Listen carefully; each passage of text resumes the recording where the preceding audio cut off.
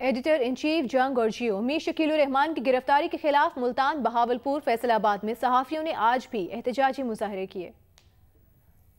मीर शकील रहमान की गिरफ्तारी के खिलाफ मुल्तान में जंग जी ऑफ़िस के बाहर होने वाले एहतजाजी मुजाहरे में पीपल्स पार्टी के रुकन कौमी असम्बली आमिर जीवा ने भी शिरकत की। आमिर जीवा का कहना था कि मीर शकील रहमान को सच लिखने की सजा दी जा रही है। मीडिया पर पाबंदी जमहूरी हुकूमत को जेब नहीं देती।